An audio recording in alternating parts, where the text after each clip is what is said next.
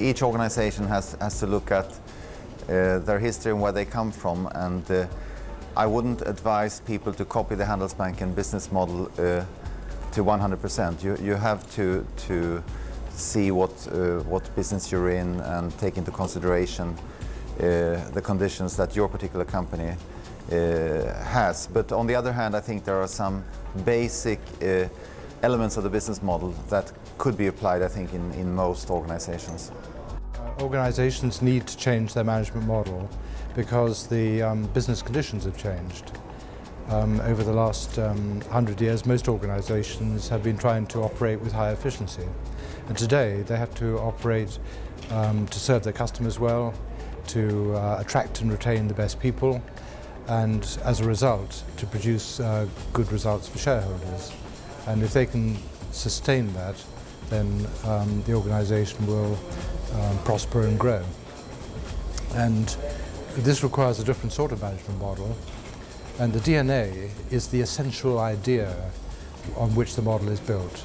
And the essential idea is that you want to challenge and satisfy your employees, uh, that you want to satisfy your customers, and as a result your business will grow and the profitability of it will too.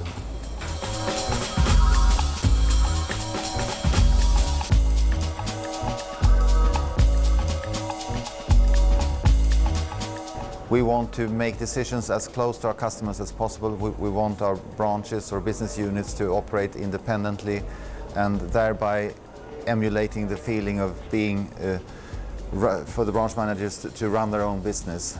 We believe that that's a very efficient and, and uh, customer-friendly way of, of organizing your business.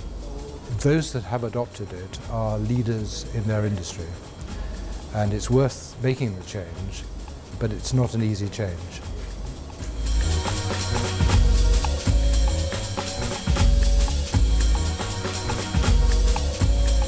Uh, it is very difficult to change, and one of the reasons being that uh, that people feel frightened, they feel threatened uh, when, when, things are about to change. And for instance, in Handelsbanken's case, we have a, a, very flat management structure. So if you come from an organization where you have many management levels and want to adopt the Handelsbanken model, you have to do away with many management levels, and of course there will be people resisting that.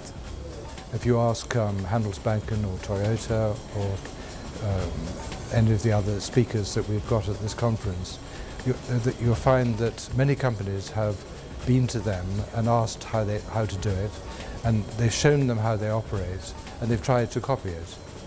But what they've essentially done is to change the tools within their own existing management model. They haven't changed the model itself. And that's a difficulty. As Magnus said, um, you get resistance from people. Um, everything has to change. That's, that's very hard.